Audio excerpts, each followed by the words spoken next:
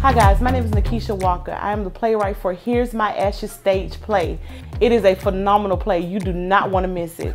It's going to be held on July 14th at 6 o'clock p.m. at Ralph J. Bunche Middle School Auditorium. The address is 1925 Niskey Lake Road, Southwest Atlanta, Georgia 30331. You do not want to miss this phenomenal play. You're going, you're going to pull out some tears. We're going to pull out some laughter. It's going to be very comical. So we just want you to come out and check us out. It's going to be great. You don't have to worry about it. See you soon.